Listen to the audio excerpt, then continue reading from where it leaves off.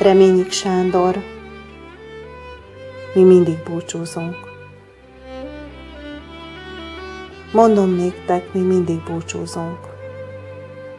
Az éjtől reggel, a nappaltól este, a színektől, ha szürke por belepte, a csöntől, mikor hangzavarta fel, a hangtól, mikor csendben halkul el.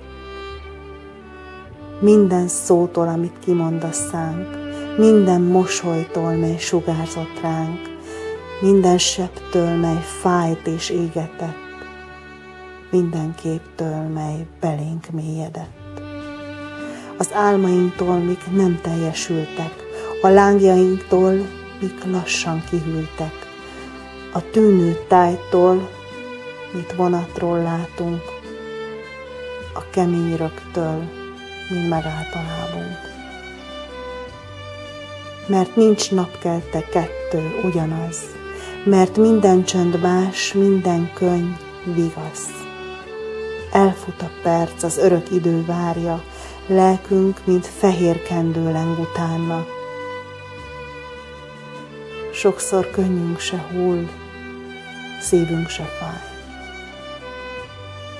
Hidegen hagy az elhagyott táj. Hogy eltemettük róla, nem tudunk és mégis mondom néktek, valamitől mi mindig búcsúzunk.